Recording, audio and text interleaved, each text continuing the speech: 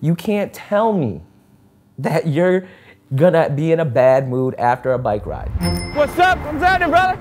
Hey, y'all doing all right? You can hear the chain moving in that rhythm. You know what I mean? That's just years, man. That click, click, click. Ugh. When you're in your what I call the glass bubble, Whoa. you don't care about what's going on around you. You care about getting it from A to B. When you're on a bike, that's when you get to take your jacket off and you get to feel the sun and you get to deal with the dog that's chasing you.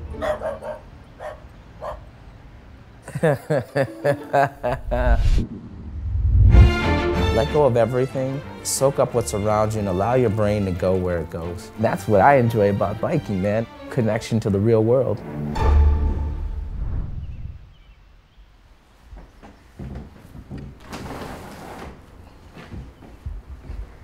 Minneapolis, they have a program. You ride a bike four times, you take it back after you've documented it, and they give you a brand new bike. I want that in Detroit.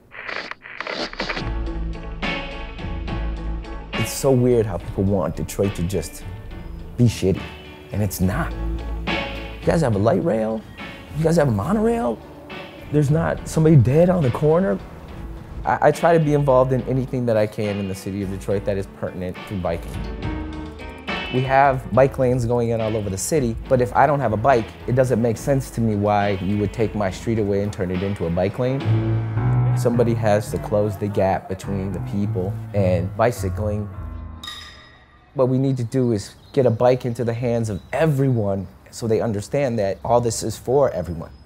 You can't tell me we can't do it because people said I couldn't start a bike ride.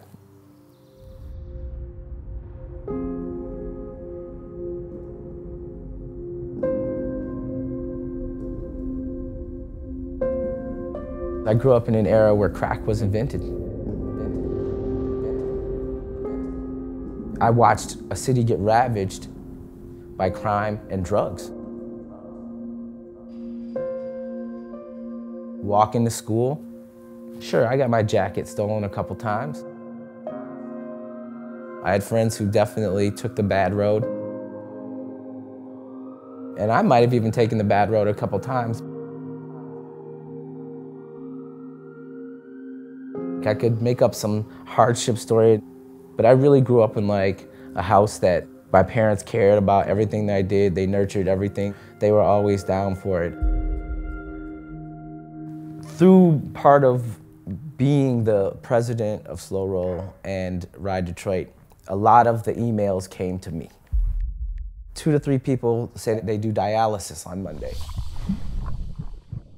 If they don't keep moving, they actually get sick from the dialysis.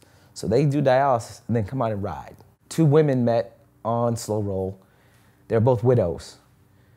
They started this group. Now it's up to 25. We had a girl who actually uh, got in a very bad car accident. She couldn't walk for three years. Last year, she got her movement back. Uh, a company bought her a bike. She went on TV and she said all she thought about was riding Slow Roll. Sorry, man. I mean, this is real. Like,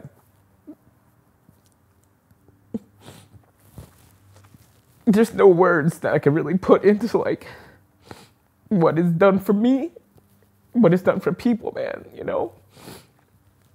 I wish I could make this up and like, but I mean, I'll be honest, man. This, when I talk about it, it's just overwhelming, man. Really. I just remember like, thanks, brother. Whew. Being in meetings, I'm like, why am I even here? You know, and then I meet one person, and I'm like, oh, that's why I'm here. So I can meet this person and hear their story, you know. But I was supposed to meet that person, and we were supposed to change each other's lives. The bike has taught me is there's nothing you can't do. I mean, honestly, look where I am. Just from pedaling, pedaling with people. Now, I have the ability to talk and change lives. I mean, the bike is my everything, really.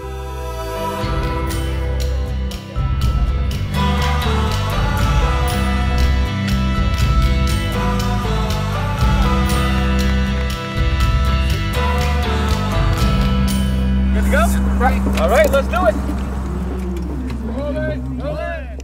You talk about Detroit and you talk about Motown and everything that's sort of common, but then people don't talk about the creativity that goes into biking in Detroit.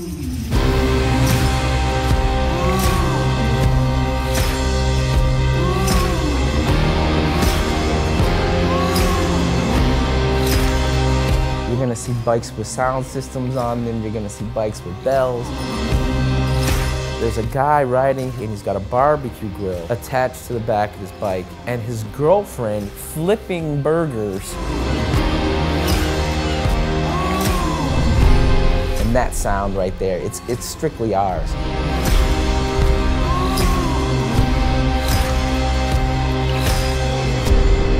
I'm a black kid from Detroit, so I definitely grew up like looking at people in a certain way. But then all of a sudden, you're on a bike and you're changing tires with somebody, and, and you forget all that. I never thought that's what this would do, is like give me a different perspective. It's not that I don't see color, but I see every color in a beautiful way now. It's amazing.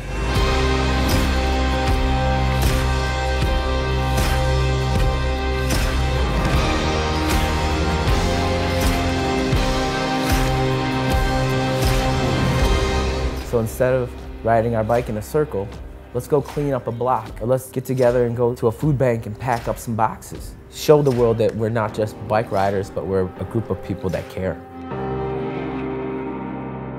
Let's go for a bike ride.